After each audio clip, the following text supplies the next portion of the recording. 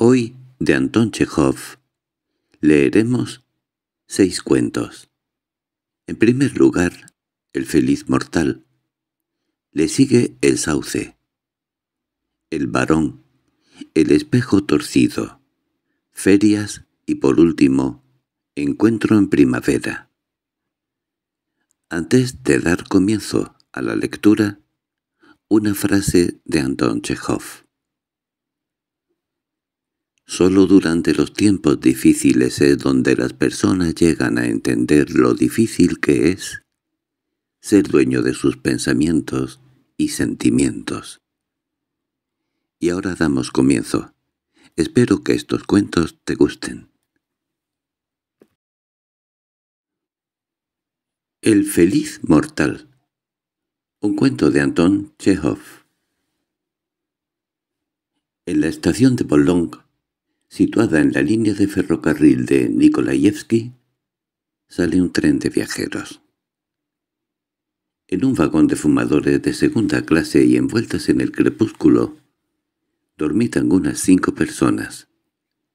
Acaban de cenar y ahora, recostándose en el diván, se disponen a dormir. Reina el silencio. De pronto se abre la puerta y una alta y envarada figura, tocada con un sombrero rojizo y envuelta en un abrigo, de esa particular elegancia que caracteriza a los corresponsales de ópera y a los de Julio Verne, penetra en el vagón. La figura se detiene en medio del vagón, lanzar resoplidos y durante largo rato parece buscar con la mirada algo en los divanes. No, tampoco es este, masculla. El diablo sabe cuál será. Sencillamente abominable, no. No es este tampoco. Uno de los viajeros le mira fijamente y deja escapar un grito de alegría. —¡Iván! —¿Es posible que sea usted? ¿Qué hace por aquí?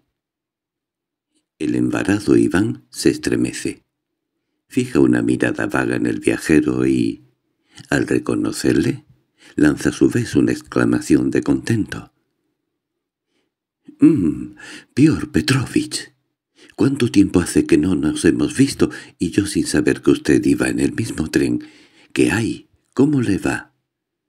«Bastante bien, gracias. Solo he perdido mi vagón y no doy con la manera de encontrarlo. Idiota de mí.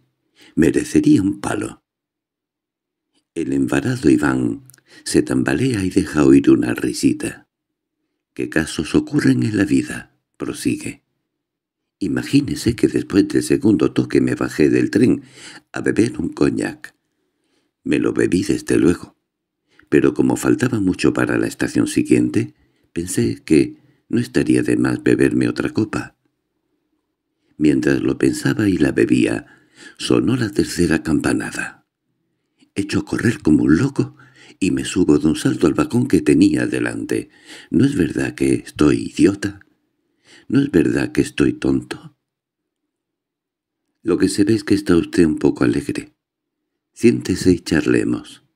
No, no, tengo que ir a buscar mi vagón. Adiós. Cuidado, no vaya a caerse de la plataforma en la oscuridad.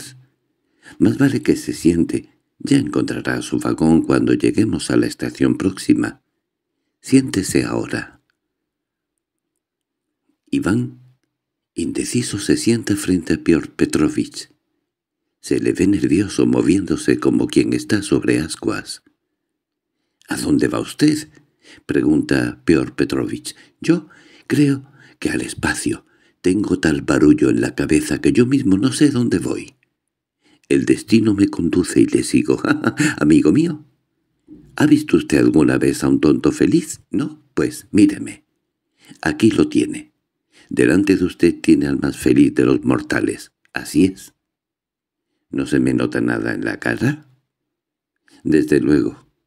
Se ve que está usted un poco con seguridad tendré una terrible cara de tonto. Ah, qué lástima no tener un espejo para verme. Amiguito, me estoy atonteciendo por momentos. Palabra de honor. Figúrese que estoy en mi viaje de novios. ¿No me ve usted más hueco que un pavo? ¿A que sí? ¿Usted? ¿Que se ha casado usted?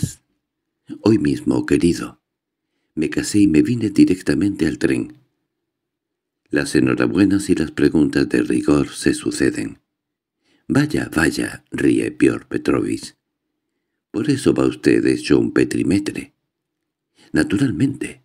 Y para la ilusión, fuera más completa hasta me perfumé. Estoy hundido en vanidad hasta el cuello. Eche fuera las preocupaciones, las cavilaciones, y solo me queda un sentimiento, después de echar fuera las preocupaciones, el diablo sabe cómo habrá que llamarlo, euforia del alma quizá. Desde que nací no me había sentido nunca tan magníficamente. Iván Alexevich cierra los ojos y mueve la cabeza. Figúreselo por sí mismo. Me iré ahora a mi vagón. Allí en el diván junto a la ventanilla está sentada una criatura que es para mí todo felicidad. Rubita, con una naricilla y unos deditos, almita mía, ángel mío, gorrioncito mío, fiorexa de mi alma, pues, y su piececito, Dios mío. Su piececito no es como por ejemplo los nuestros, es una miniatura, hechicero, simbólico. Siente uno ganas de cogerlo y de comérselo, pero bueno, usted no sabe nada de esto porque es un materialista y le da por analizarlo todo. ¿Que si esto? ¿Y que si lo otro? Ustedes los solteros tienen un corazón seco y nada más. Pero ya verá cuando se acordará de mí cuando se case. —¿Dónde está ahora Iván? —dirá. Lo dirá, sí. Yo ahora me iré a mi vagón, en el que saboreando por anticipado mi aparición me espera con impaciencia. Una sonrisa me saldrá al encuentro. Me sentaré junto a ella y le cogeré la barbilla, así, con los dedos. Iván. Iván Alexevich sacude la cabeza y se ríe con risa dichosa. Después reclinaré mi cabeza en su hombro y la rodearé el talle con el brazo. Alrededor hay silencio y una poética media luz. En momento así, abrazaría uno a todo el mundo. Permítame que le abrace, Pior Petrovich. Hágalo, por favor. Ante la risa benévola de los viajeros, los amigos se abrazan y el feliz recién casado prosigue. Y para más idiotez o, como dicen en las novelas, para que sea mayor la ilusión, se va uno al buffet y se bebe dos o tres copitas. Entonces por la cabeza y por el pecho le pasa a uno algo que ni en el cuento se podría describir. Entonces, aunque soy hombre modesto, insignificante, me parece sentirme sin fronteras, capaz de abarcar el mundo entero. Los viajeros contemplan al borrachito y feliz recién casado y, contagiados de su alegría, siente desvanecerse su sopor. Junto a Iván Alexevich hay ahora cinco oyentes en vez de uno. Él continúa agitándose, como si estuviera sentado sobre alfileres, mueve las manos y charla sin parar ríe y hace reír a todos. Lo importante, señores, es no pensar. Al diablo todos los análisis. ¿Que uno tiene gana de beber? Que beba sin meterse a filosofar si es bueno o malo. Al diablo todas las filosofías y todas las psicologías. En ese momento pasa por el vagón el revisor. «Amigo mío», se dirige a él recién casado. Cuando llegue al vagón 209 busque a una dama que lleva un sombrero gris con un pájaro blanco y dígale que estoy aquí. A sus órdenes. Solo que este tren no lleva ningún vagón 209. Lleva el 219. Bueno, pues 219 es lo mismo. Así que dígale esto, que su marido está sano y salvo. De repente Iván se agarra la cabeza con las manos y gime. ¿Yo un marido? ¿Ella una señora? ¿De cuándo acá? Marido yo. Habría que dar de azotes y eres ya un marido. ¡Qué idiota, pues! ¿Y ella? Ayer era todavía una niña, un gusanillo. No lo puede uno creer. ¡Qué extraño! Es hoy en día encontrar un hombre feliz, el más fácil ver un elefante blanco, dice uno de los viajeros. ¿Y quién tiene la culpa? dice Iván, extendiendo sus largos pies calzados de puntiagudos zapatos. Si ustedes no son felices, ustedes tienen la culpa, ni más ni menos, que se figuraban. El hombre es el creador de su propia felicidad. Si quiere usted ser feliz, lo será. Pero si no lo quiere usted y con astucia evita la felicidad... ¡Qué ocurrencia! ¿Y cómo es eso? Muy sencillamente, la naturaleza ha dispuesto que el hombre, al llegar a cierto periodo de su vida, ame. Pues bien, si te llega ese periodo, ama. Pero ustedes no escuchan a la naturaleza. Se pasan el tiempo esperando siempre algo. Además, la ley dice que todo individuo normal debe casarse. Fuera del matrimonio no hay felicidad. ¿Te ha llegado el tiempo oportuno? Pues cásate sin pensarlo más. Pero como ustedes no se casan y se pasan la vida esperando algo, además, las escrituras dicen, «El vino alegra el corazón del hombre». Por tanto, si te encuentras bien, pero quieres encontrarte todavía mejor, vete al buffet y bebe. Lo importante es no cavilar y vivir. Eso es lo mejor. Usted dice que el hombre es el creador de su propia felicidad, pero ¿cómo diablos va a crearla si basta con que le dé un dolor de muelas o con que le toque en suerte una suegra atravesada para que se le vuelva la felicidad? Todo depende de la casualidad. Si a usted, señora, le ocurriera una catástrofe, cantaría otro cantar. —¡Qué tontería! —protesta el recién casado. Las catástrofes no ocurren más que una vez al año. En cuanto a la casualidad, tampoco le tengo miedo porque no hay motivo para que sobrevenga. Las casualidades son muy poco frecuentes, al diablo con ellas. No quiero siquiera nombrarlas bien. Me parece que estamos llegando a un apeadero. —¿Y a dónde va usted ahora? —preguntó Pior Petrovich. —A Moscú a algún sitio más hacia el sur. ¿Qué cosas tiene usted? Como yendo al norte voy a pararme en un sitio del sur. Pero Moscú no está en el norte. Ya lo sé, pero donde vamos ahora es a Petersburgo, dice Iván. Por Dios, si la dirección que llevamos es la de Moscú. ¿Cómo la de Moscú? Se asombra el recién casado. ¡Qué raro! ¿Para dónde tiene usted el billete? ¿Para Petersburgo? En ese caso le felicito. Se ha metido usted en otro tren. Se hace un silencio que dura medio minuto. El recién casado pasea su mirada vacía por los rostros de los presentes. «Claro, claro», explica Pior Petrovich. «Lo que ha pasado es como en Bolón subió usted de un salto, después de beber el coñac, tomó un tren que iba en dirección contraria. Iván palidece. Se lleva las manos a la cabeza y empieza a recorrer el vagón a grandes pasos. «¡Soy un idiota!» se inclina contra sí mismo. «Soy un canalla, que me lleve el diablo. ¿Y qué voy a hacer yo ahora?» En el otro tren va mi mujer. Está sola esperándome, se inquietará. Soy un estúpido. El recién casado se desploma sobre el diván, contrayéndose convulsamente. «Soy un desdichado, Jime. ¿Qué voy a hacer? ¿Qué?» «Vaya, vaya», le consuelan los viajeros. «¡Qué tontería!» Telegrafíe a su mujer e intente tomar un rápido.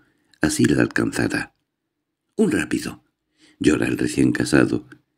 «El creador de su propia felicidad».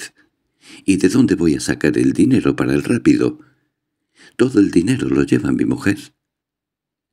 Los viajeros, risueños, cambian unas palabras en voz baja, hacen una colecta y proveen de dinero al feliz mortal. Fin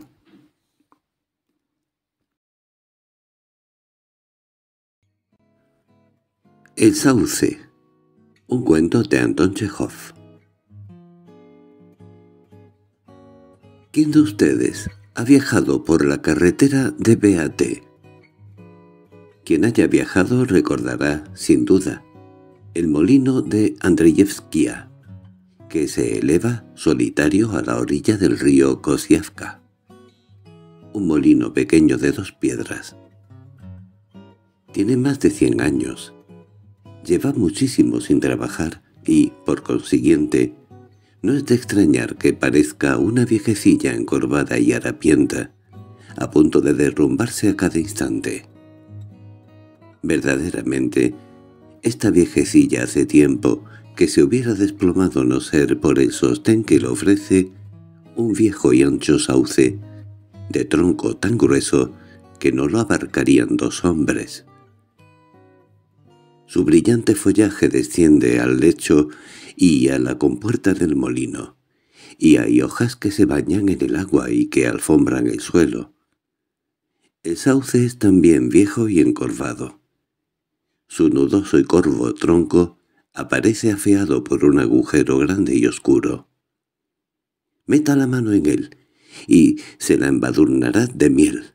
Abejas silvestres zumbarán alrededor de su cabeza y le aguijonearán. ¿Cuántos años tendrá el sauce? Argip, buen amigo suyo, afirma que el árbol era ya viejo cuando él Hacía de francés en casa del señor y de negro con la señora. Y todo ello fue hace muchísimo, muchísimo tiempo. El sauce sirve de sostén a otra ruina, al anciano Argip que, sentado a su pie, se pasa el día pescando con caña de sol a sol. Argip es viejo y encorvado como el sauce y su desdentada boca recuerda el agujero del árbol. Pesca durante el día y, por la noche, sentado entre sus raíces, cavila. El viejo sauce y el viejo argib cuchichean día y noche. Ambos han visto tantas cosas en su vida. Óiganles. Hace treinta años, el día del Domingo de Ramos, es decir, en el santo del anciano Sauce, el anciano Argip, sentado en su sitio de costumbre, estaba pescando y contemplando el paisaje de primavera. En derredor, como siempre, quietud. Solo se oía el susurro de los dos viejos y el espaciado chapoteo de algún pez travieso. El anciano pescador esperaba la llegada del mediodía. A mediodía comenzaba a hacer la sopa. Cuando la sombra del sauce empezaba a separarse de la orilla opuesta, llegaba el mediodía. Argip adivinaba también la hora por el cascabeleo de la diligencia postal, que pasaba por la presa exactamente a las doce. También aquel domingo oyó Argip el campanilleo. Dejando la caña a un lado, miró hacia la presa. La troika rebasó un montículo, descendió pendiente abajo y siguió a paso de peatón. El correo iba dormido. Al llegar a la presa el carruaje se detuvo. Mucho tiempo llevaba Argip sin sorprenderse, pero esta vez fue grande su sorpresa sucedió algo extraordinario. El cochero miró a su alrededor. Se agitó nervioso. Quitó el pañuelo de la cara del correo y blandió una porra. El correo no se movió. Una mancha purpúrea cubrió su cabeza. El cochero bajó a tierra y, volteando el brazo, descargó otro golpe. Un minuto después, Argip oyó pasos a poca distancia. El cochero venía directamente hacia él. Su cara curtida estaba pálida y sus ojos miraban sin dirección determinada. Temblando como un azogado, corrió hacia el sauce y, sin percatarse de la presencia de Argip, metió en el agujero del árbol la saca de correo, tras lo cual retornó al carruaje a toda prisa y, cosa extraña para Argip, se asestó un golpe a sí mismo en la sien. Después de ensangrentarse la cara, arreó los caballos. —¡Socorro, que me matan! —gritó. El eco repitió su grito, y la llamada de socorro siguió sonando largo rato en los oídos de Argip. Seis o siete días después se presentó en el juzgado. Los miembros de la comisión sacaron un plano del molino y de la presa, midieron la profundidad del río y, luego de almorzar a la sombra del sauce, se marcharon por donde habían venido. Mientras duró la inspección, Argip estuvo metido bajo la rueda tembloroso sin dejar de mirar la saca. Vio en ella sobres con cinco sellos. De día y de noche contemplaba aquellos sellos cavilando, y el viejo sauce callaba de día y lloraba de noche. «Valiente tonto», pensaba Argip, oyéndole llorar. Una semana más tarde, el anciano iba ya camino de la ciudad llevando consigo la saca. —¿Dónde está el juzgado? —preguntó nada más entrar en la ciudad. Le indicaron una gran casa de color amarillo con una garita rayada a la puerta. Penetró, y ya en el vestíbulo encontró a un señor de botones muy brillantes que fumaba en pipa y estaba echando una reprimenda al guarda. Argip se acercó, y temblando todo él, refirió al funcionario el episodio del viejo sauce. El funcionario cogió la saca, desató las correas, palideció y enrojeció. «Un momento», dijo, y corrió al interior. Allí le rodearon otros funcionarios. Carreras, nerviosismo, comentarios.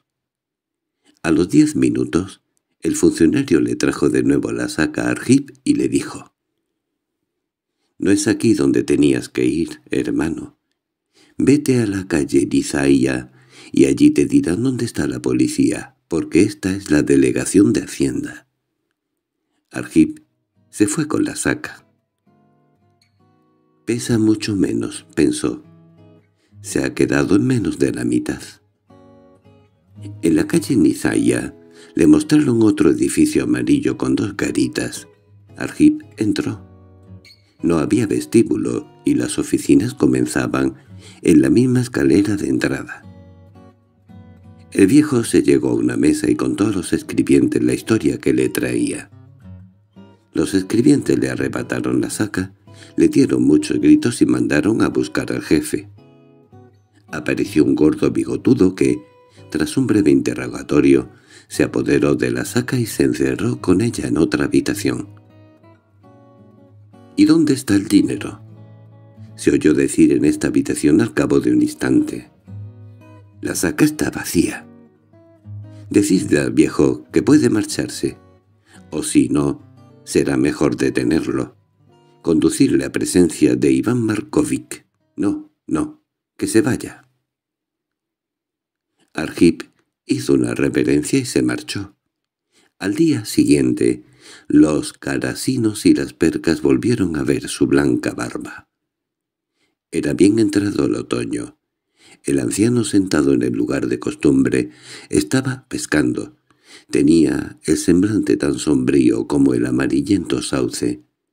No le gustaba el otoño, pero su rostro se ensombreció mucho más al ver a poca distancia al cochero que, sin reparar en él, se aproximó al sauce y metió la mano en el agujero. Las abejas húmedas y perezosas se arrastraron por su mano.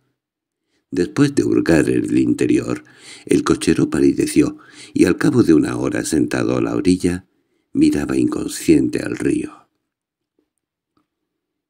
—¿Dónde está aquello? —preguntó a Argip. Argip, al principio, guardó silencio y trató de esquivar al asesino, pero terminó compadeciéndose de él. «Se lo llevé a la policía», dijo. «Pero tú, tontuelo, no temas. Al entregarlo declaré que lo había encontrado debajo del sauce». El cochero rugió y, dando un salto, se abalanzó contra Argip. Estuvo pegándole mucho tiempo, le golpeó el viejo rostro y le pateó en el suelo. Pero después de dar una tremenda paliza al anciano, se quedó a vivir con él en el molino. De día dormía o callaba si estaba despierto. De noche deambulaba junto a la presa.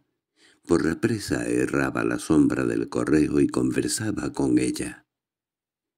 Llegó la primavera sin que el cochero dejase de permanecer en silencio y de pasear por la presa. Una noche se le acercó el viejo.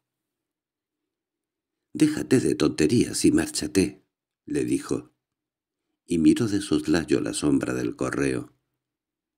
La sombra repitió sus palabras, y el sauce repitió lo mismo. «No puedo», respondió el cochero. Me iría, pero me duelen las piernas y también el alma. El viejo le agarró del brazo y le llevó a la ciudad, a la calle Nisaya, a la misma oficina donde él entregara la saca. El cochero cayó de rodillas ante el jefe y confesó su delito. El bigotudo se asombró. —¿Por qué quieres echarte tierra encima, imbécil? —Estás borracho. ¿O quieres que te meta en el calabozo? Aquí se ha vuelto loco todo el mundo. ¡Qué canallas! No hacen más que enredar las cosas.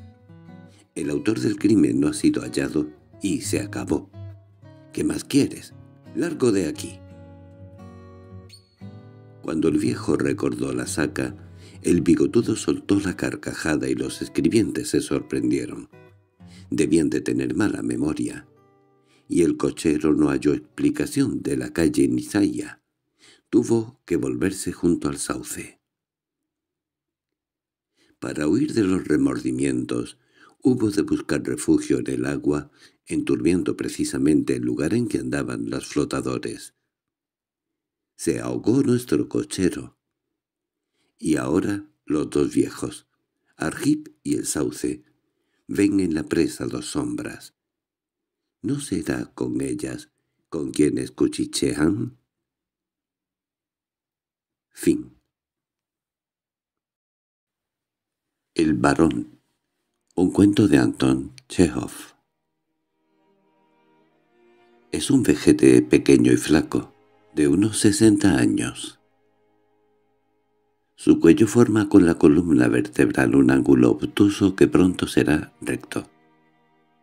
Tiene un gran cabezón anguloso, ojos agrios, nariz de piña y papada lilácea. Por toda su cara se extiende un leve tinte azulino, debido, quizá, a que los frascos de alcohol se guardan en un armario sin llave. Dicho sea de paso, además del alcohol de la empresa, el barón toma a veces champán, lo suele encontrar en el fondo de las botellas y de los envases de los artistas que dejan en los camerinos. Los carrillos y las bolsas de debajo de los ojos le tiemblan como trapos colgados al sol. Se le aprecia en la calva un ramalazo verdoso, reflejo del verde forro del gorro de orejeras que el varón lleva en la cabeza o cuelgan el estropeado mechero de gas tras el tercer bastidor. Su voz tiene el sonido de una cacerola cascada. Y su indumentaria. Si se ríe usted de su traje señal que no admite autoridad alguna, cosa que no le hace mucho honor.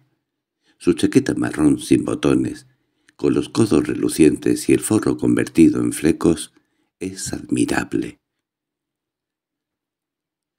Se balancea sobre los escuálidos hombros del varón como una percha quebrada, pero ¿qué importa?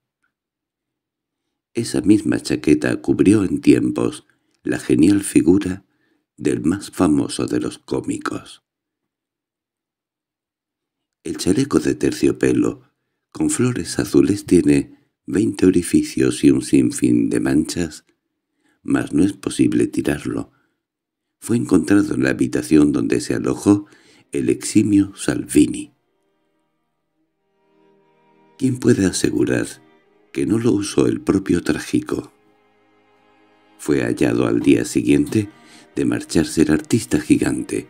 Por consiguiente, se podría hasta jurar que es auténtico. El lazo que ciñe y da calor al cuello del varón no es menos venerable y digno de alabanza, aunque, por razones de higiene y estética, valdría la pena cambiarlo por otro más sólido y menos pringoso. Pero está cortado de los restos de la gloriosa capa en que iba envuelto Ernesto Rossi cuando hablaba con las brujas durante la representación de Macbeth. «Mi lazo huele a sangre del rey Duncan», solía decir el varón, mientras trataba de despiojarlo. Ríanse cuanto quieran del pantalón a rayas que luce el varón. No perteneció nunca a ningún personaje, aunque los actores bromean diciendo que ha sido hecho de una vela del barco que llevó a América a Sarah Bernard, cuando la verdad es que se lo compró al acomodador número 16. En invierno y en verano el varón usa grandes chanclos de goma para no gastar las botas y para que sus piernas reumáticas no estén tan expuestas al viento que en corriente pasa por el suelo de la concha del apuntador. Se le puede ver en tres sitios. En la caja, en la concha del apuntador y en el camerino de actores. Fuera de estos tres lugares no existe ni es posible imaginárselo. En la caja pasa de noche, y de día apunta los nombres de las personas que adquieren los palcos o juegan a las damas con el cajero. Este, un viejo escrupuloso, es el único ser viviente que oye al varón y que contesta sus preguntas. Metido en la concha, el varón cumple su sagrada función de apuntador y se gana el pedazo de pan de cada día. La concha está pintada de blanco por fuera, por dentro, en cambio, está llena de telarañas, de grietas y de astillas. Y huele a humedad a pescado ahumado y alcohol. Durante los entreactos, el varón acude al camerino de los actores. Los que no le conocen, al entrar por primera vez, se echan a reír y le aplauden, tomándole por artista. «¡Bravo! ¡Estupendo!» exclaman. «¡Qué disfraz más fenomenal! Hay que ver la cara que se ha puesto usted». ¿Dónde ha encontrado un traje tan original? Pobre varón. La gente no admite que él pueda tener fisionomía propia. En el camerino se deleita contemplando las grandes estrellas.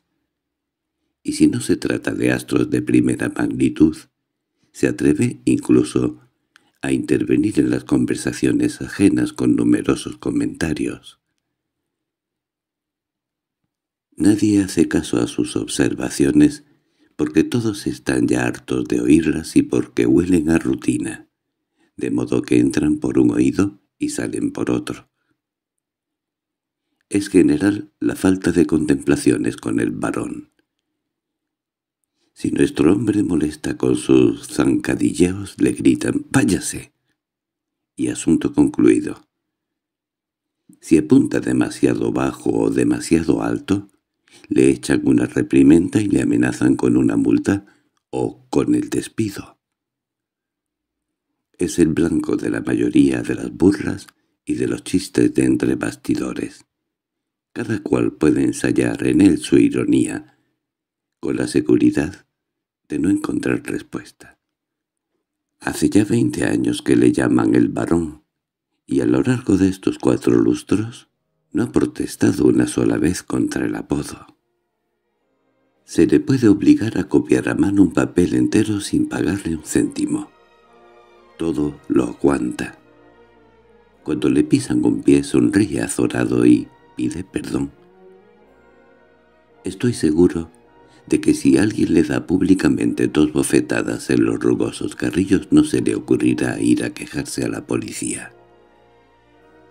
Arránquenle, como hace poco hizo un pedazo de forro de su admirable llamada chaqueta. Se limitará a pestañear y enrojecer. Tanta es la fuerza de su miseria y de su resignación. Nadie le respeta. Mientras viva le aguantarán y cuando se muera, se olvidarán de él. A la media hora, pobre criatura. Pero hubo, sin embargo, una época en que estuvo a punto de hacerse amigo y cofrade de personas a quienes veneraba y quería más que a su propia vida. ¿Cómo no amar a hombres que a veces encamaban a Hamlet o a Franz Moore? Le faltó poco para ser artista, y lo hubiera sido de no haber mediado una circunstancia pequeña, pero funesta. Talento le sobraba, deseo también. En un principio tuvo hasta protectores, pero lo que no tuvo fue audacia. Temía que ellas, las cabezas de que estaban sembrados los cinco pisos del teatro, de abajo a arriba, soltasen la carcajada y armasen un tumulto si él tenía el atrevimiento de salir a escena. De ahí que palideciese, enrojeciese y se quedase mudo de horror cada vez que le proponían debutar. «Esperemos un poco», respondía. Y estuvo esperando hasta que se hizo viejo. Se arruinó y tuvo que ir a parar, y eso por influencias, a la caseta del apuntador. Esto no le descorazonó. Ahora no pueden echarle del teatro por carecer de billete, pues es empleado. Ocupa un lugar delante de la primera fila ve el espectáculo mejor que nadie y no paga por ello ni un copec. Es feliz y está contento. Atiende sus obligaciones maravillosamente. Antes de cada función lee la obra unas cuantas veces a fin de no equivocarse. Y cuando suena el primer timbrazo, ya se encuentra en su puesto ojeando el cuaderno. Imposible hallar persona más cumplidora en todo el teatro. Sin embargo, hay que despedirle. En un teatro no pueden permitirse desórdenes y el varón, escandaloso por naturaleza, provoca a veces líos horribles. Cuando los actores interpretan su papel con mayor inspiración, él aparta la vista del cuaderno e interrumpe su murmullo de apuntador. A menudo deja de leer y grita. —¡Muy bien, magnífico! Osando incluso aplaudir cuando no aplaude el público.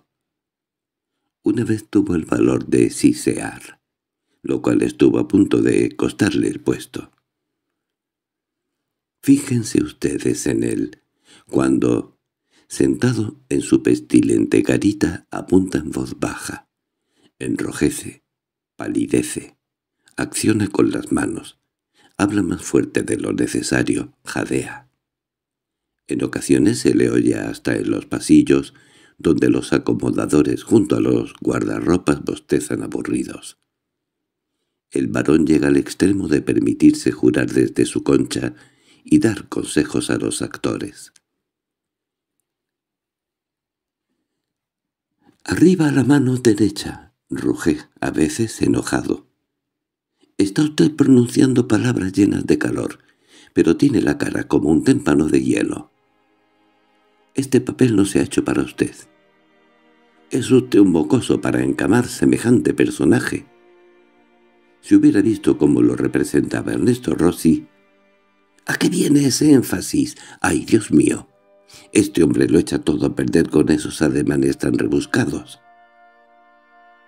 Y en lugar de apuntar, lo que pone en el cuaderno, dice a los actores cosas como esas u otras por el estilo. Es insensato mantener en su puesto a este chusco. De haberle despedido a tiempo, el público no hubiera sido testigo del escándalo ocurrido hace unos días. Consistió en lo siguiente.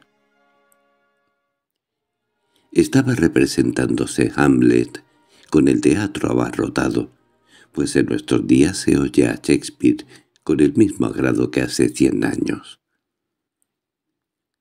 Cuando ponen en escena alguna obra shakespeariana, el varón llega a un paroxismo nervioso, bebe mucho, habla mucho y se frota sin cesar las sienes con los puños. Entre cien y cien se desarrolla un violento y fatigoso proceso. Su cerebro senil es agitado por una envidia rabiosa, por la desesperación, por el odio y por las ilusiones. El papel de Hamlet debiera interpretarlo él, aunque la figura del príncipe de Dinamarca no se avenga con la joroba ni con el alcohol que se olvidan de guardar bajo llave. Él debería interpretarlo, y no aquellos pigmeos que hoy hacen sus delacayos mientras de alcahuetes y pasado mañana de Hamlet. Cuarenta años lleva él estudiando aquella figura, sueño dorado de tantos actores sublimes, que ha coronado de laurel no solo a Shakespeare. Cuarenta años de estudio, de angustia, de ardientes ilusiones. Se acerca la muerte, que llegará pronto, y se le llevará para siempre del teatro. Ansía, aunque solo sea una vez en la vida, pasar por el escenario con la guerrera del príncipe a la orilla del mar, junto a las rocas donde la soledad del paraje pudiera de por sí despertar, mirando el gran abismo y oyendo de las olas el bramar. Si hasta los sueños deleitan, ¿cuál no sería el regocijo del calvo varón si el sueño suyo se trocase en realidad? Aquella noche eran tan intensas su rabia y su envidia que se hubiera tragado al mundo entero. Le habían confiado el papel de Hamlet a un chiquillo de voz atiplada que, para colmo, era pelirrojo. ¿Dónde se había visto un Hamlet azafranado? El varón, sentado dentro de su concha, creía estar encima de una hoguera. Mientras Hamlet no salía escena, él mantenía una tranquilidad relativa, pero apenas aparecía el tenorio rojizo, nuestro buen hombre se retorcía, inquieto en su asiento, y hasta gimoteaba. Más que apuntar parecía gemir. Las manos le temblaban. Confundía las páginas. Colocaba las velas más cerca o más lejos.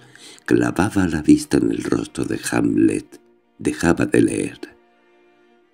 De buena gana hubiera arrancado uno a uno todos los pelos de aquella cabeza rojiza. Mejor estaría Hamlet calvo que pelirrojo. Ya que sacaban una caricatura, la caricatura debía ser completa. ¡Qué diablo! Durante el segundo acto, en vez de apuntar, se dedicó a reírse descaradamente, a jurar y a. Por fortuna, los actores se sabían de memoria los papeles y no reparaban en su silencio.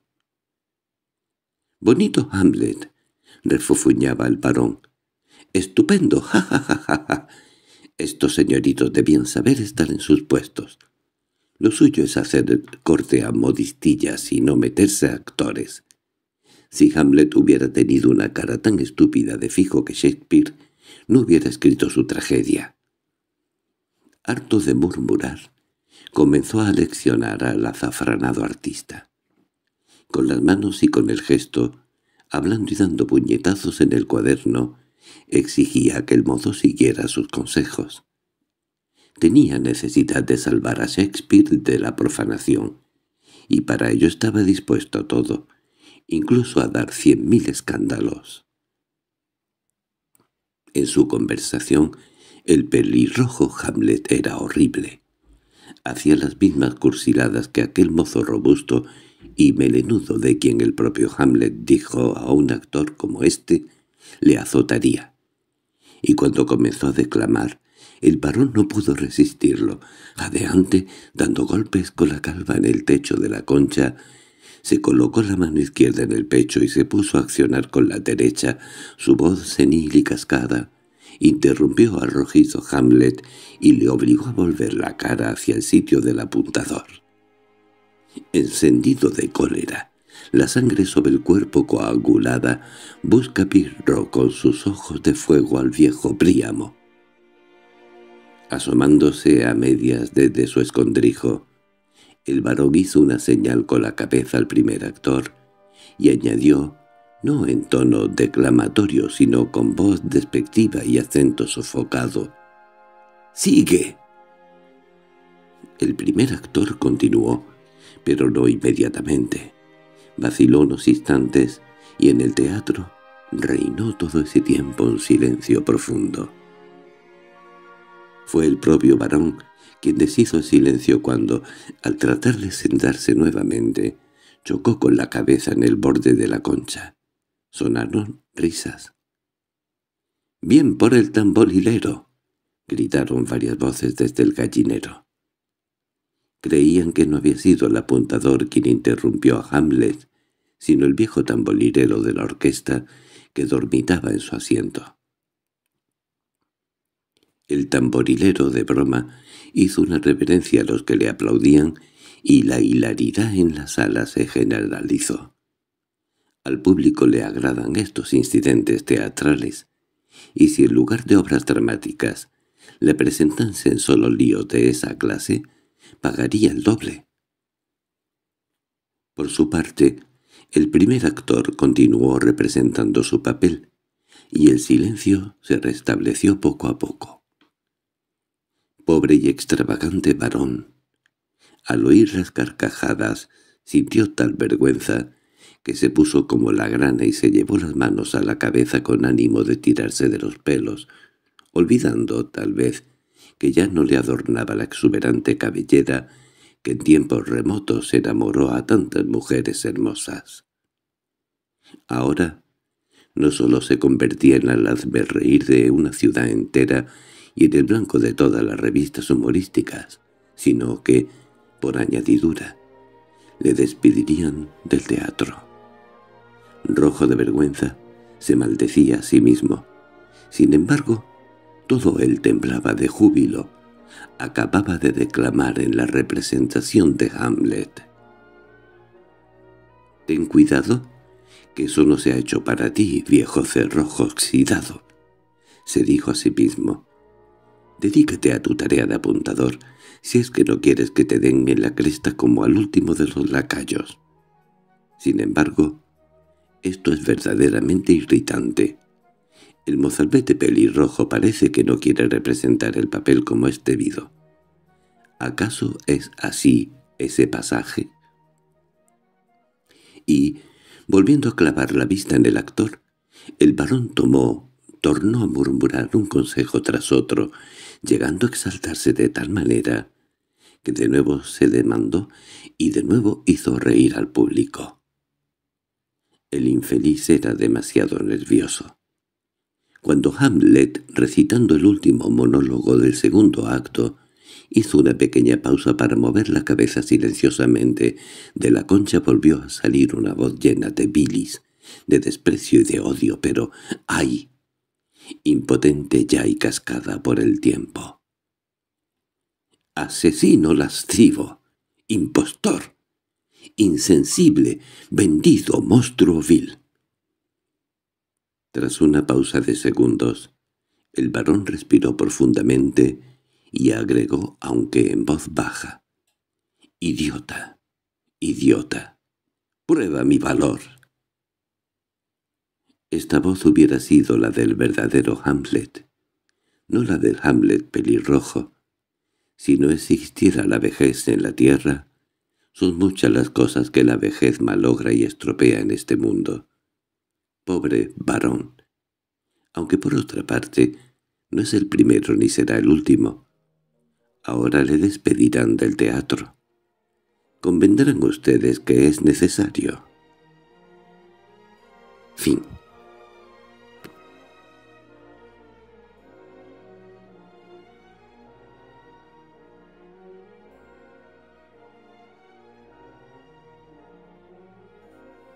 El espejo torcido. Un cuento de Anton Chekhov. Entré con mi esposa en el salón. Allí se sentía olor a moho y humedad y, al alumbrar sus paredes, que durante un siglo habían permanecido oscuras, millares de ratas y ratones huyeron a sus escondrijos. Sopló el viento y se movieron los papeles amontonados en los rincones. Cerramos la puerta.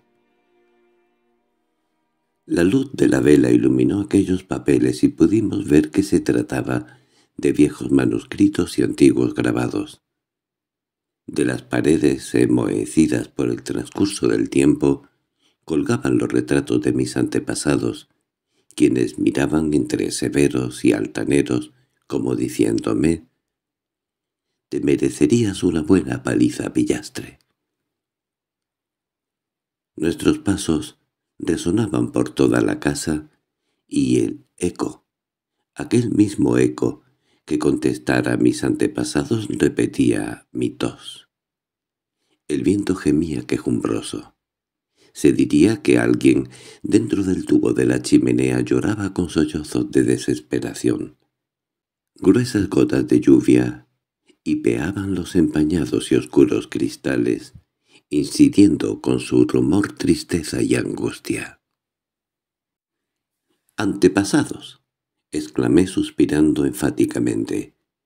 Si yo fuera escritor, al contemplar estos retratos me inspiraría una gran novela, porque cada uno de estos ancianos fue un día joven y todos ellos y ellas tuvieron su historia de amor. ¿Y qué historia? Mira, por ejemplo, a esta viejecita. Fue mi tatarabuela, pues bien, esta mujer tan fea, casi horrible, también tiene su historia y, por cierto, no exenta de interés. ¿Ves aquel espejo? Aquel que está en el rincón. Señalé a mi mujer un espejo de grandes dimensiones con marco de bronce y negro, situado en una esquina, junto al retrato de mi tatarabuela. Este espejo tiene poder mágico. Causó la perdición de mi tatarabuela. Por él pagó una suma fabulosa y nunca quiso desprenderse de su compañía mientras vivió. Se pasaba el día y la noche contemplándose, e incluso comía con él. Al acostarse se lo llevaba consigo a la cama, y al morir rogó la enterrasen también con él. No pudieron, sin embargo, cumplir su deseo, porque el espejo no cabía en el ataúd. ¿Era coqueta? preguntó mi mujer. Es de suponer, pero de todos modos tenía otros espejos. ¿Por qué se encaprichó precisamente de este espejo y no de otro cualquiera? ¿Acaso no tenía otro más bonito? No, querida, Aquí se oculta algún terrible misterio. No puede ser de otra manera. Dice la leyenda que el espejo estaba endemoniado y que mi tatarabuela tenía tratos con el demonio. Desde luego que todo eso son tonterías, pero, indiscutiblemente, el espejo del marco de bronce negro tiene un poder misterioso. Le quité el polvo y mirándome en él me eché a reír. Un eco sordo contestó a mi carcajada. El espejo estaba torcido, y por eso mi cara parecía torcida en todas direcciones. Mi nariz se torció hacia la mejilla izquierda. Mi barbilla, no menos torcida, resultaba dividida en dos. —¡Qué gusto tan raro el de mi tatarabuela! —exclamé. Mi mujer se acercó también al espejo, con aire poco seguro. Se miró en él. Y entonces ocurrió la catástrofe. Se quedó lívida. Empezó a temblar de pies a cabeza mientras porrumpía en exclamaciones. La palmatoria resbaló de su mano y la vela se apagó, quemando en tinieblas y entonces oí como si algo pesado cayese al suelo. Era mi mujer desvanecida. El viento aullaba aún más lastimeramente. Las ratas corrían por la habitación y los ratones empezaron otra vez su infernal ajetreo entre los papeles. Los pelos se me erizaron, y mi espanto llegó al paroxismo cuando el viento arrancó la persiana de una ventana que se derrumbó con estrépito. Al instante la luna se asomó por la ventana. Cogí a mi mujer en brazos y la saqué de la habitación de los antepasados. Hasta el día siguiente por la noche no volvió en sí. «El espejo. Que me den el espejo» fue lo primero que dijo al despertar. —¿Dónde está el espejo? Durante toda una semana estuvo sin comer ni dormir, pidiendo a cada momento que le dieran el espejo y llorando. Arrancándose los pelos de la cabeza, andaba por la habitación como una loca hasta que por fin el médico declaró que podía morir de agotamiento y que su estado era muy grave. Venciendo mis temores, Bajé a la habitación de los antepasados y le traje el espejo de mi tatarabuela. Apenas lo vio prorrumpió en una risa de felicidad. Después lo cogió, lo besó y quedó contemplándolo. Así han pasado diez años y ella continúa sin apartarse de su lado ni por un segundo. «¿Es posible que sea yo?» murmura mientras su cara sonrosada por la emoción expresa felicidad y entusiasmo. «Sí, soy yo. Todos mienten. Tan solo este espejo dice la verdad. Miente mi marido y mienten las amistades. Oh, si antes me hubiera visto y hubiera sabido cómo soy en realidad, no me habría casado con un hombre como él. No es digno de mí. Tendría postrados a mis pies los hombres más hermosos los más nobles. Pero un día en que me hallaba detrás de mi mujer, sorprendí casualmente el terrible secreto al mirar el espejo. Allí vi la imagen de una mujer de belleza deslumbrante, como nunca jamás vi otra en mi vida. Era un milagro de hermosura, de gracia, de armonía y de amor.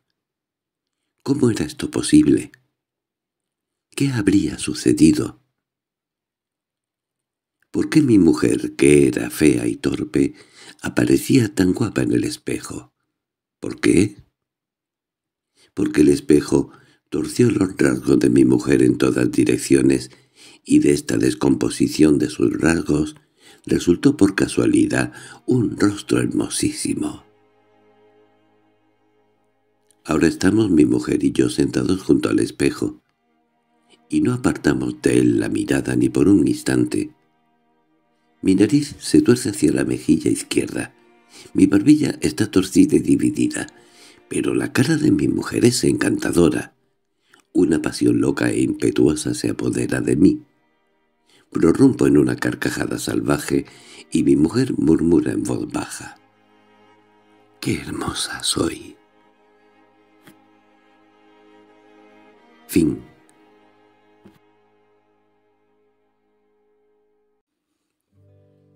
Ferias. Un cuento de Anton Chekhov. Es un villorrio pequeño, apenas visible. Se llama ciudad, pero se parece a una ciudad lo que una pulga a un elefante. Un cojo con muletas le daría la vuelta entera en diez minutos o un cuarto de hora, si no en menos. Sus casuchas son míseras y vetustas, la mejor de ellas se vendería por cinco altines en tres plazos. Sus vecinos pueden ser contados con los dedos. El alcalde, el inspector, el cura, el maestro, el diácono, el vigía de incendios, el sacristán, dos o tres buenos burgueses, dos gendarmes y... pare usted de contar.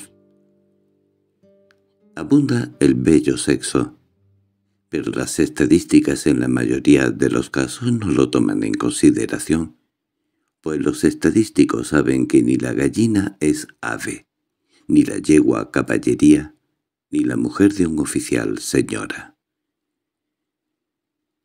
Hay muchísimos forasteros, hacendados veraneantes tenientes de una batería provisionalmente acantonada allí, el greñudo diácono de la aldea vecina con su sotana lila, su voz de hipopótamo, etc. El tiempo ni fu ni fa. De cuando en cuando una lluvia se produce consternación entre los que venden y los que compran. El aire magnífico. Nada recuerda los olores de Moscú. Huele a bosque, a muguets, a brea y hasta un poco a establo. De todos los rincones garitas y rendijas, llega el hálito de comercio. A cada paso un puesto. Dos filas de tenderetes se extienden por la calle principal de un extremo a otro, formando un verdadero amontonamiento a la plazoleta donde desemboca la calle. Junto a la verja de la iglesia venden pipas unas mujerucas. En la plaza no cabe ya ni un alfiler. Da miedo ver tanto carro, tanto caballo, tanta vaca, tanto becerro y tanto cochinillo. Los musics son pocos, pero las aldeanas, las aldeanas. Todo lo llenan ellas ataviadas sin excepción, con vestidos rojos y blujas negras plisadas. Son tantas y se apretujan tanto que el parque de bomberos en pleno podría pasar sobre sus cabezas para ir a apagar un fuego. Los borrachos, oh, milagro, son pocos. Flota en el aire un estruendo continuo de voces, chillidos, chirridos, crujidos, balidos y mugidos. Un alboroto como si estuvieran edificando la segunda torre de papel. Todas las ventanas están abiertas. Dentro de las casas se ven samovares, teteras con el pitorro quebrado, caras de narices rojas. Bajo las ventanas las conocidas de los vecinos que acaban de hacer sus compras se quejan del tiempo. El diácono de sotana lila, con brindas de paja en el cabello, estrecha a todas las manos y abre el altavoz de su boca. Mil respetos. Tengo el honor de felicitarles con motivo de la festividad a... Mm.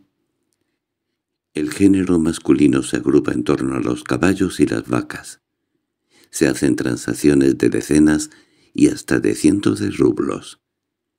Por lo que respecta al ganado caballar, llevan la voz cantante los gitanos. Juran por Dios, y se desean las peores calamidades si su mercancía no es la mejor. Cualquier caballería vendida se entrega al comprador cogiendo el cabestro con el faldón de la casaca, de donde parece deducirse que quien no lleve faldones está incapacitado para vender y comprar. Casi todas las bestias que se venden son de labor, es decir, plebeyas.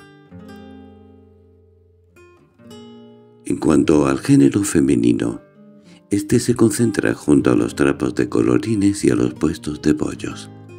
El tiempo, implacable, ha impreso su sello en los bollos en cuestión que aparecen revestidos de una especie de verdín dulce.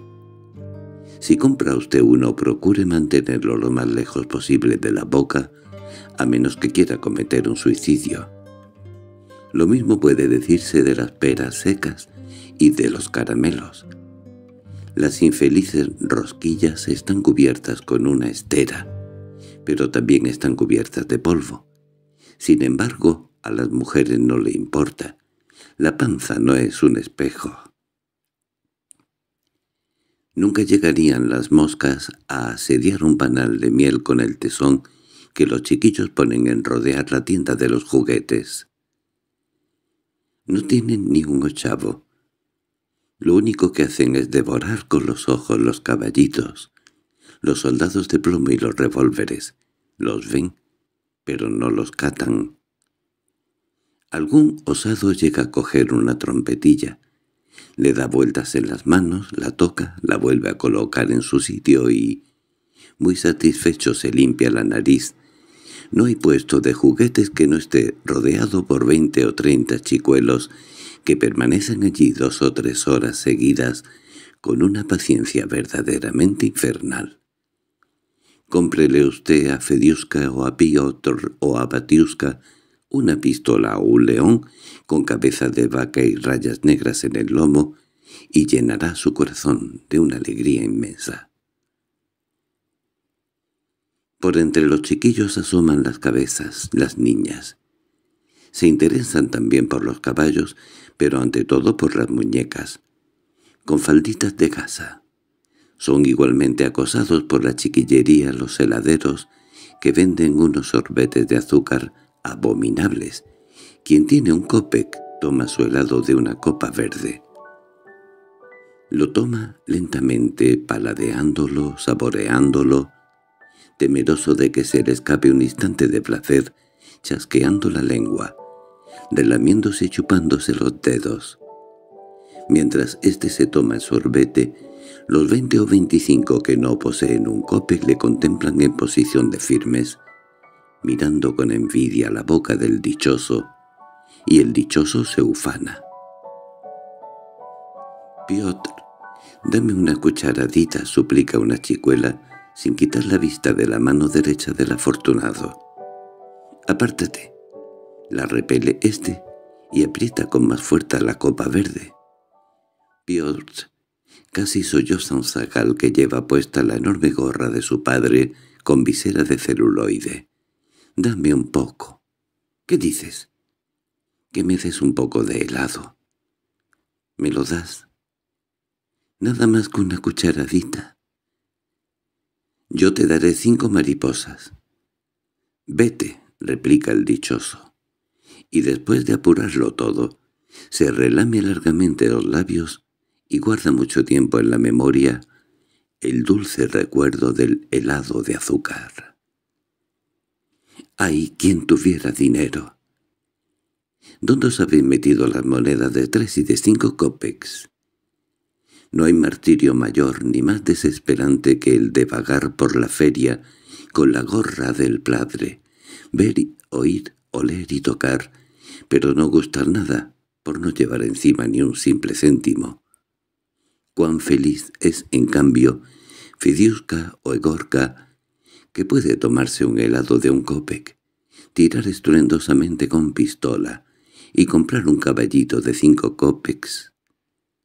Hasta unos placeres tan sencillos son inaccesibles. Los chanceros, los borrachos y los ociosos se sienten atraídos por los teatros ambulantes. Hay dos. Levantados en mitad de la plaza, están juntos y tienen un aspecto gris se componen de tablas rugosas, carcomidas, húmedas y viscosas recubiertas o adornadas de harapos. En los techos, remiendo sobre remiendo y costura sobre costura, una pobreza sobrecogedora. Encima de unos travesaños y de unas tablas que simulan una terraza exterior, dos o tres payasos divierten al público, reunido abajo es un público de peor gusto posible. No se ríe porque los payasos le hagan gracia, sino porque al ver a un payaso lo natural es reírse. Los payasos guiñan, contraen la cara y hacen otras mil tonterías, pero ¡ay! Los predecesores de todas estas escenas pusquianas y no pusquinianas hace ya tiempo que caducaron y que prestaron su servicio. Antes eran sus cerebros los portadores de la sátira más cáustica y de las verdades transoceánicas. Ahora sus chistes producen perplejidad y la pobreza de su talento corre parejas con la del teatro en que actúan. Oírlos da náuseas. No son artistas ambulantes, sino lobos bípedos hambrientos. Es el hambre y nada más que el hambre, la que les ha hecho recurrir a las musas.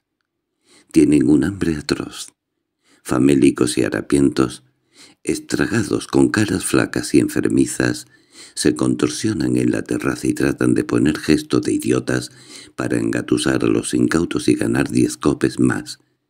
Pero el gesto que ponen no es de idiotes, sino de ramplonería. Una mezcolanza de abulia con una mueca afectada, ordinaria e inexpresiva. Guiños, bofetadas, puñetazos en las espaldas, diálogos desenfadados con el público, frases grandilocuentes y nada más. No les escuchan. Los artistas a la fuerza no hablan por inspiración ni con arreglo a un programa mediado. Sus palabras carecen de sentido. Se pronuncian haciendo morisquetas, y acaso por esto se les premia con risas. «Estate derecho». Yo no soy María Petrovna, sino Iván Fedoseyev. Este es un ejemplo de su gracia. Los payasos y los niños dicen a veces la verdad, reza el adagio. Pero por supuesto, también se requiere vocación para ser payaso, a fin de no soltar siempre sandeces y decir la verdad alguna vez. El respetable público les mira embobado y se ríe, cosa, por otra parte, perdonable, ya que no ha visto nada mejor y tiene ganas de divertirse. A los horribles bollos y al ocio les viene bien una ración de risa, y el menor impulso basta para provocarla. Como dijimos antes, los teatros son dos. Cada uno de ellos da una brillante función de quince en quince minutos, por la noche, funciones especiales. Describiré una de ellas. La más importante tuvo lugar la víspera de la partida de la compañía, o sea, el primer domingo después de terminada la feria. El día antes del espectáculo, los clowns colocaron por la ciudad y repartieron anuncios escritos a mano, uno de los cuales me fue entregado a mí. He aquí lo que decía. En la ciudad, con permiso de la autoridad en la plaza, se celebrará un gran espectáculo gimnástico y acrobático a cargo de la tropa de artistas bajo la dirección de NGB, que se compone de números gimnásticos y acrobáticos, coplas, escenas y pantominas en dos partes. 1. Diversos trucos asombrosos y divertidos de magia blanca o prejidigistación. Cerca de veinte serán ejecutados con el clown Uroberto. 2 saltos mortales en el aire que los dará el clown Doberto, y dos niños de corte edad, Adrián y Vanson. 3. El inglés sin huesos, o caucho man, que tiene todos los miembros como si fueran de goma. Cuplet cómico de Iván Soteroj, que ejecutará un niño de corta edad, y el resto por el estilo. A las nueve de la noche, precio de los asientos. Unas 150 copex, dos asientos 40 copex, tres asientos 30 copex, 420 copes, gallinero 10 copex. He quitado algunas cosas, pero no he añadido nada de mi parte.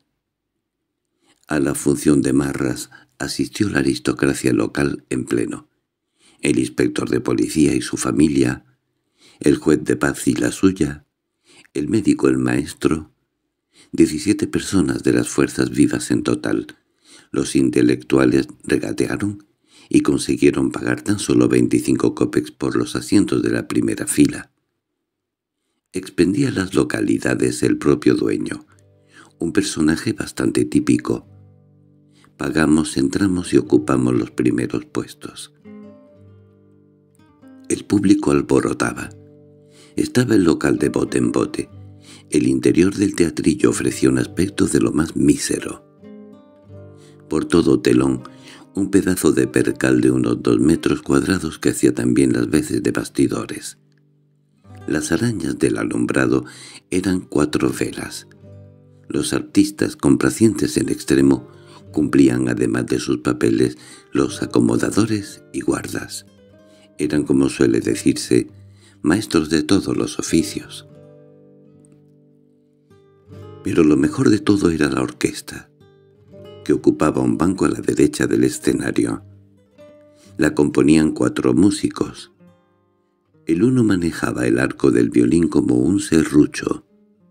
El segundo tocaba el acordeón, el tercero el violonchelo, con tres cuerdas de contrabajo y el cuarto la pandereta. Lo que más tocaban era Strelovska, entonces muy en boga, y la ejecutaban maquinalmente, cometiendo pifias horrorosas. El de la pandereta era sencillamente admirable. Golpeaba el instrumento con la mano, con el codo, con la rodilla, y no sé cómo no llegaba a darle hasta con el talón. Parecía cumplir su cometido con deleite, con sentimiento, oyéndose y alabándose a sí mismo.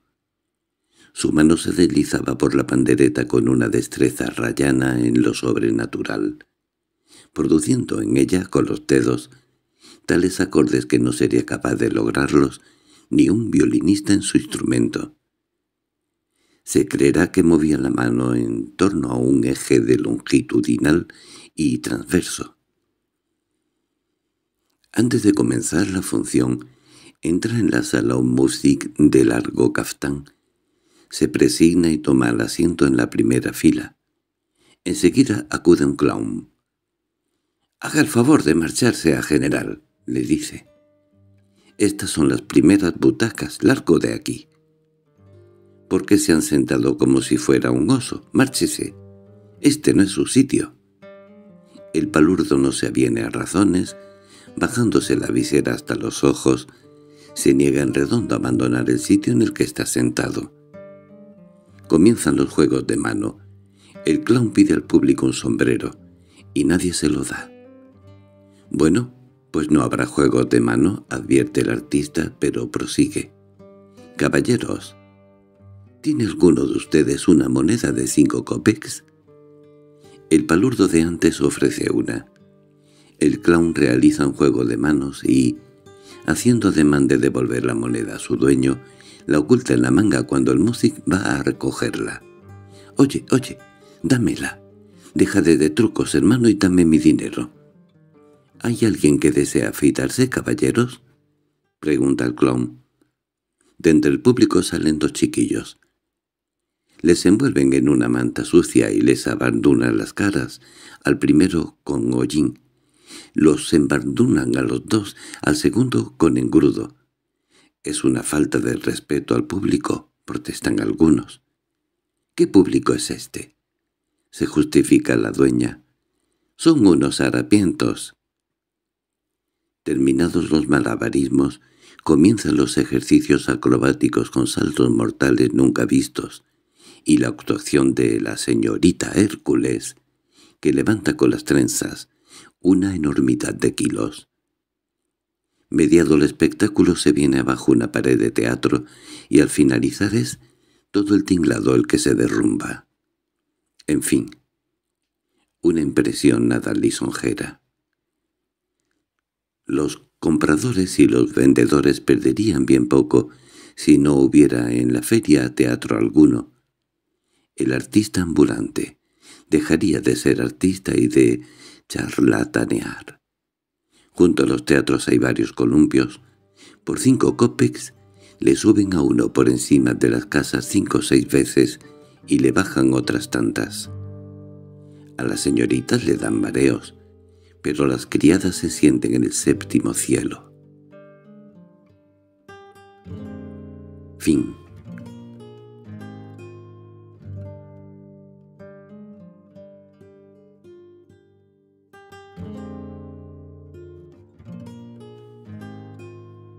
El encuentro de la primavera. Un razonamiento. Los bóreas cambiaron el céfiro. Sopla una brisa que no viene del oeste ni del sur. Estoy desde hace poco en Moscú, y aún no conozco bien este lugar del mundo. Sopla levemente, que apenas levanta las faldas. No hace frío de tal manera no hace frío, que uno puede atreverse a pasear con sombrero, abrigo y bastón. Incluso no hiela de noche. La nieve se derritió volviéndose agua turbia, que fluye rumorosamente desde las colinas y los cerros hasta los sucios canales. Únicamente no se derritió en las calles estrechas y en las callejuelas donde sosegadamente yace amontonada bajo una capa de tierra y así permanecerá hasta mayo.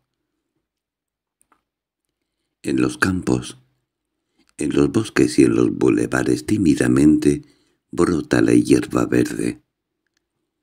Los árboles aún están completamente desnudos, pero parece como si estuvieran animados.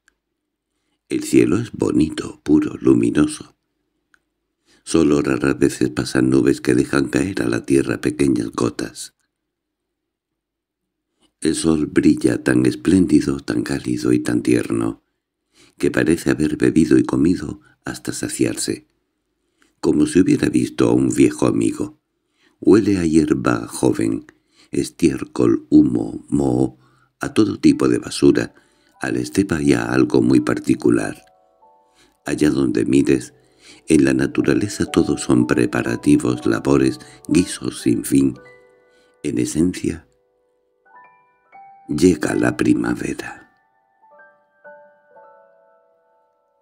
El público que ya se hartó terriblemente de gastar dinero en leña, de andar con pasadas pieles y gruesos chanclos, de respirar aire helado, húmedo y viciado, impetuosa alegremente extiende los brazos para saludar la llegada de la primavera. La primavera es una invitada deseada, pero ¿acaso es buena? ¿Cómo les diría? Para mí, no se trata de que sea demasiado buena y no se puede decir que sea demasiado mala. Sea como fuere, se la espera con impaciencia. Los poetas viejos y jóvenes, mejores y peores, dejan por un tiempo en paz a cajeros, banqueros, ferroviarios y maridos cornudos, dejan correr la pluma para componer madrigales, ditirambos, odas laudatorias y demás obras poéticas, cantando en ellas todos los encantos de la primavera. Cantan habitualmente con poca fortuna. No hablo de los presentes. La luna, el aire, la bruma, la lejanía, los deseos, ella, está en ellos en primer plano. Los prosistas también propenden a la armonía poética. Todos los folletines, alabanzas y vituperios comienzan y terminan con la descripción de sus propios sentimientos a propósito de la inminente primavera. Las señoritas y los caballeros sufren mortalmente. Su corazón late a 190 pulsaciones por minuto. La temperatura es ardiente. Los corazones están llenos de dulces presentimientos. La primavera lleva consigo el amor y el amor lleva consigo tanta felicidad, tanto sufrimiento. En nuestro dibujo la primavera mantiene a los enamorados en la cuerda floja y hace bien. También en el amor hace falta disciplina. ¿Qué sucedería si ella dejara caer el amor? Le diera canalla libertad. Yo soy un hombre más bien serio pero también a mí, en virtud de los aires primaverales, acuden a mi cabeza toda clase de diabluras. Escribo, y ante mis ojos hay paseos umbríos, fuentes, pájaros, ellas y todo lo demás. La suegra empieza a mirarme de manera sospechosa y la mujer se deja ver junto a la ventana. Los médicos son gente muy seria, pero tampoco ellos duermen tranquilos. Tienen pesadillas y les invaden los sueños más seductores. Las mejillas de los doctores, los practicantes y los boticarios arden sonrosadas y febriles, y no sin motivo. Sobre las ciudades se extienden nauseabundas nieblas, y esas nieblas están compuestas de microorganismos que producen enfermedades. Duele el pecho, la garganta, los dientes. Se despiertan viejos reumatismos, gotas neuralgias. Los tísicos tosen sin parar. En las farmacias hay terribles tumultos. El pobre boticario nunca puede comer ni tomar té. El clorato potásico, los polvos de Doverov y los ungüentos para el pecho, el yodo y estúpidos productos para los dientes se venden a montones. Escribo y escucho como en la farmacia vecina resuenan las monedas de cinco copex. Mi suegra tiene fremones en los dos carrillos un monstruo monstruoso. Los pequeños comerciantes, las cajas de ahorro, los caníbales prácticos, los judíos y los campesinos bailan la cachucha de la alegría. También para ellos la primavera es una bendición. Miles de abrigos de pieles van a las casas de empeños para dar de comer a los hambrientos. Toda la ropa de invierno que aún tiene valor se lleva para bendición de los judíos. Si no llevas el abrigo de piel a la casa de empeños, te quedas sin ropa de verano y te pavonearás en la casa de campo con pieles de castor y mapache. Por mi abrigo de piel, que vale como mínimo cien rublos, me dieron treinta y dos en la casa de empeños. En las ciudades de Berdichev Sitomir, Rostos, Potalba, el fango llega hasta las rodillas. Es un fango parto, viscoso, fétido. Los transeúntes se sientan en casa y no asoman la nariz a la calle por si se hunde en el diablo sabe qué. Te dejas en el fango no solo los chanclos sino incluso las botas y los calcetines. Sal a la calle en caso de necesidad o descalzo o en zancos, pero lo mejor es que no salgas en absoluto. En Moscú, a decir verdad, no se deja uno las botas en el fango, pero es más seguro llevar chanclos. Uno puede despedirse de los chanclos para siempre en muy pocos lugares, a saber, en la esquina de las calles Zunetsky y Petrovka en Truba, y en casi todas las plazas de una aldea a otra no puedes ir. Todos se disponen a pasear y regocijarse, excepto los adolescentes y los jóvenes. No se ve a la juventud por los exámenes de primavera. Todo el mes de mayo pasa obteniendo sobresalientes y suspensos. Para los suspensos la primavera no es un huésped deseado. Aguarden un poco. Dentro de cinco o seis días como mucho dentro de una semana, los gatos maullarán más fuerte bajo las ventanas. La hierba rala se hará espesa. En las aldeas los brotes se harán vellosos. La hierba crecerá por todas partes. El sol calentará y la primavera será primavera de verdad. De Moscú saldrán convoyes con muebles, flores, colchones y doncellas pulularán hortelanos y jardineros. Los cazadores comenzarán a cargar sus escopetas. Aguarden una semana, tengan paciencia. Y mientras tanto, pongan resistentes vendas en su pecho para que no salgan de él sus desenfrenos, las impacientes demoras del corazón. Por cierto, ¿Cómo desean representar en el papel la figura de la primavera? ¿De qué manera? En tiempos antiguos la dibujaban en forma de una bella doncella, tendida en un campo de flores. Las flores son sinónimo de alegría. Ahora son otros tiempos. Hay otros gustos y otra primavera. También se dibuja como una joven dama, no está tendida en las flores puesto que no hay flores, y tiene las manos metidas en los manguitos. Haría falta representarla demacrada, delgada, esquelética, tísica, pero que sea... Le haremos esa concisión solo porque es una dama. Fin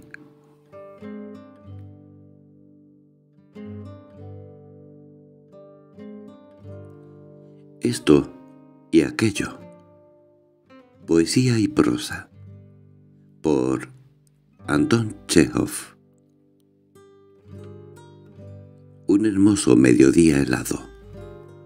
El sol juega en cada copo de nieve. No hay nubes ni viento. En un banco del bulevar está sentada una pareja. Yo la amo, susurra él. En las mejillas de ella juegan cupidos rosados. Yo la amo, continúa él. Al verla por primera vez entendí para qué vivo y conocí el fin de mi vida. La vida con usted o la inexistencia absoluta, querida mía. María Ivanovna, sí o no. María. María Ivanovna. La amo. Responda o moriré, pues, sí o no. Ella levanta hacia él sus ojos grandes. ¿Le quieres decir sí? Abre su boca. —¡Ah! —grita ella. Por los cuellos blancos como la nieve de él, paseándose la una a la otra, corren dos grandes chinches. ¡Horror! Querida mamienca, escribía cierto pintor a su mamienca, voy a verla. El jueves por la mañana voy a tener la dicha de apretarla contra mi pecho lleno de amor. Para alargar la dulzura del encuentro llevo conmigo... ¿A quién? Adivine. ¿No? No adivinará. Mamienca, no adivinará. Yo llevo conmigo al milagro de la belleza, a la perla del arte humano. Llevo, veo su sonrisa, al Apolo de Beldeberé. «Querido Koliesca», respondió Mamienka, «me alegro mucho de que vengas, que Dios te bendiga, ven, solo. Y al señor de Belvedere no lo traigas contigo. Para nosotros mismos no hay que comer».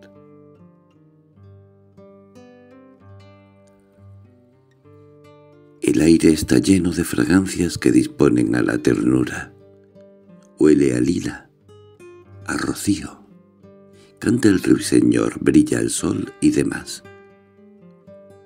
En el jardín urbano, en un banquito, bajo una ancha acacia, está sentado un estudiante de gimnasio de octavo grado, con un uniforme nuevecito, los lentes en la nariz y los bigotitos. A su lado una bonita.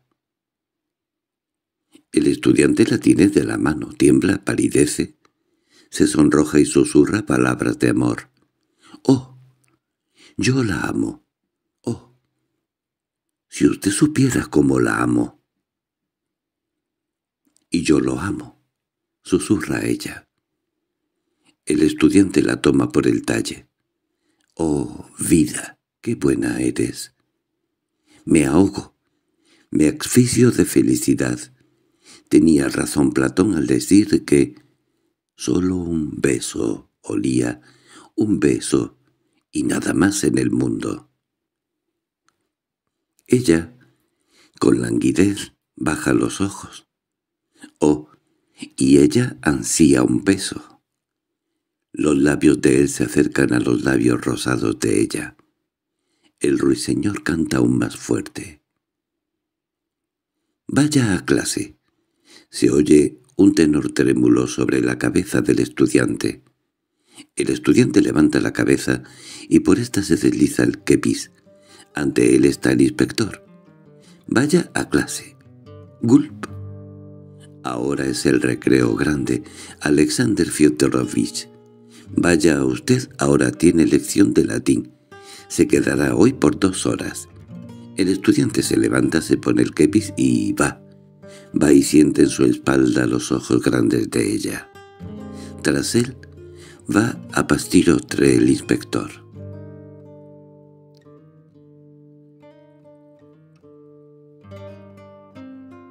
En la escena dan Hamlet. «¡Ofelia!» grita Hamlet. «Oh, ninfa, recuerda mis pecados».